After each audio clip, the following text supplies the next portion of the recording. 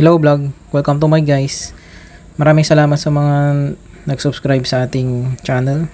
At dito, pinakita natin yung maliit na Quitis natin, rocket propellant. Yung unang formula natin. So, dyan banda, pumutok. Tapos sumubok din kami ng mas malaki. Ito yung standard Quitis natin sa Pilipinas. So, sinubukan ulit natin.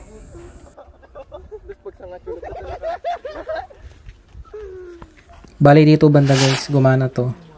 Tuwang-tuwa kami kaya gumawa, gumawa ulit kami ng mas malakas. Ate may sanan? So ito nga, ito na yung sumunod na ginawa namin mas malakas. Hindi. Mas malaki. Sinubukan namin kung dilipad nga ba.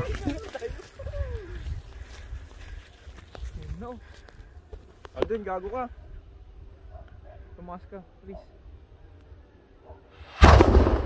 So dito banda pumutok agad. Kaya sumubok ulit kami ng mas malaki ulit.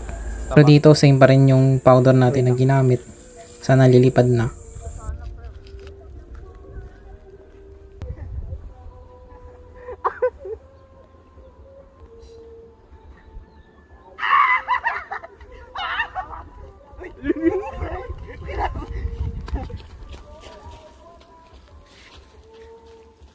Tatayab yan, no? So, ang nangyari dito, sumabog agad. So, gumawa kami ng bago ulit. Bali, yung ginawa ko dito guys is 55% potassium nitrate, 35% charcoal, tsaka 10% sulfur.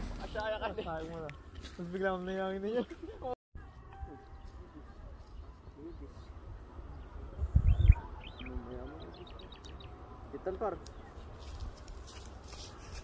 Di ata nasindihan.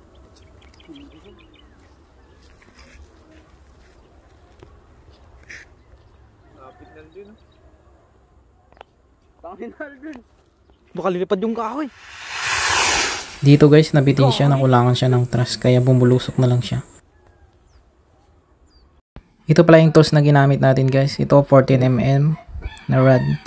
Ito, yung, ito naman yung isa natin ginamit na 18mm para sa ating quiton. So, hindi siya gumana guys. So, ito yung ating flash powder, potassium chlorate. So, ito naman ang ating black powder, na normal na black powder. Ito naman yung ginawa natin guys na 55% potassium nitrate. Ito yung ating pang strainer. Ito pala yung ating model guys. Ito yung ating drawing. Ito banda yung sa clay.